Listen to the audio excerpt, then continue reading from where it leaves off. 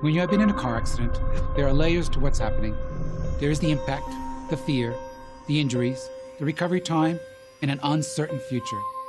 You do not know what to do or what comes next. Even though the accident is over, the scary part is just beginning. Dealing with the doctors and trying to get your life back on track. It can become overwhelming. We can help.